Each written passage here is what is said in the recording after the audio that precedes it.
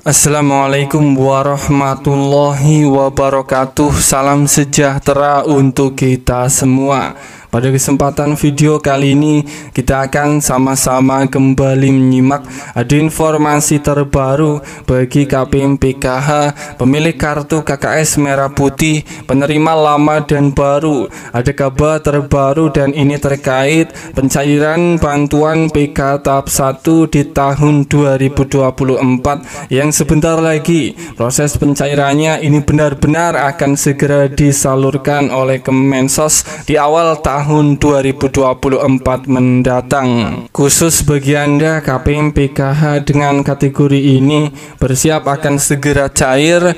Uang bantuan PK tahap 1 di tahun 2024 ini akan menerima bantuan PK tahap satunya ini melimpah senilai 2 juta 100 ribu rupiah. Akan ada saldo masuk di kartu KKS secara tiba-tiba dan berbeda-beda. Nominal uang yang akan didapat oleh setiap KPM. Kira-kira untuk kategori KPM PKH yang seperti apa? Yang cairnya melimpah ini senilai 2 juta 100 ribu rupiah di awal tahun 2024. Mari simak video ini sampai selesai supaya tidak menimbulkan gagal paham. Sebelum lanjut, bagi Anda yang belum subscribe, mari kita berteman terlebih dahulu dengan cara klik tombol subscribe, like, like dan nyalakan loncengnya supaya terus dapat informasi terbaru dari channel ini.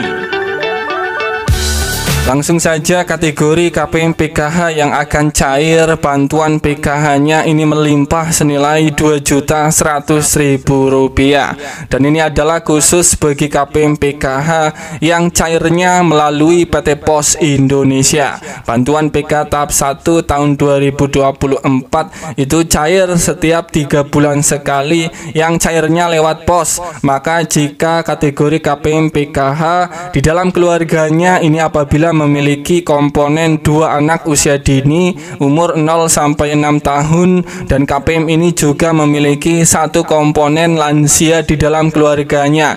Kita sudah ketahui untuk komponen anak usia dini ini akan menerima uang PKH tahap 1 itu cair per tahap senilai Rp750.000 bagi yang cairnya lewat PT Pos Indonesia.